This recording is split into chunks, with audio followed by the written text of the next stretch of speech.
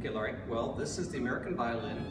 It's a research project that started back in 2006 when the American Federation of Violin and Bowmakers had their 25th anniversary and we had a celebration at the Library of Congress and brought together many historical instruments, which many of which are included in this book. And in addition, there's a lot of research on various makers, how they came to the United States, as well as beautiful photographs of their work by Tucker Densley. So it's been a labor of love over the past 10 years putting it together. If you'd like more information on the book, you can go to our website, www.theamericanviolin.org. Hope you like the book.